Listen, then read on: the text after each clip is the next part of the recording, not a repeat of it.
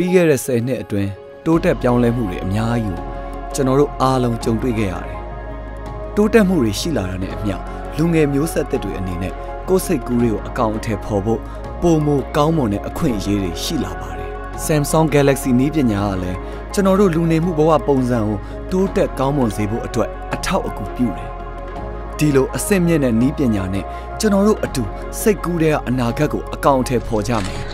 Samsung Galaxy မျိုးဆက်သစ်ရဲ့တာလွန်စမ်းသစ်မှုကိုမျက်ဝါးထင်ထင်မြင်ရဖို့အစင်သင့်ဖြစ်ပြီလား